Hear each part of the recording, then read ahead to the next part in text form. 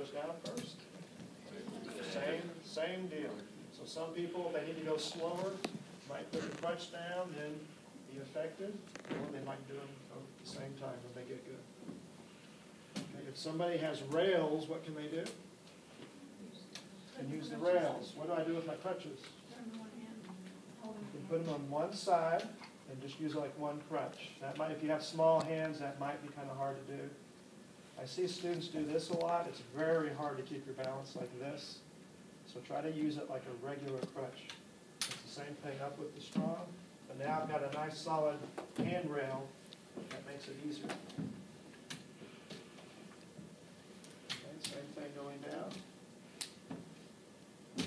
Down with the effectiveness ring. All right, what about a cane? Goes up first? Same deal. Again, some people really like to get their cane up there first.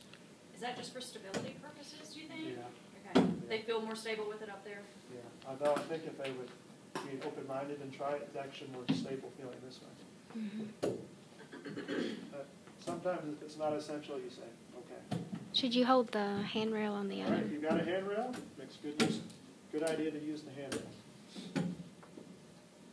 All right, so canes, crutches, pretty straightforward on the stairs. This is what's tricky right here.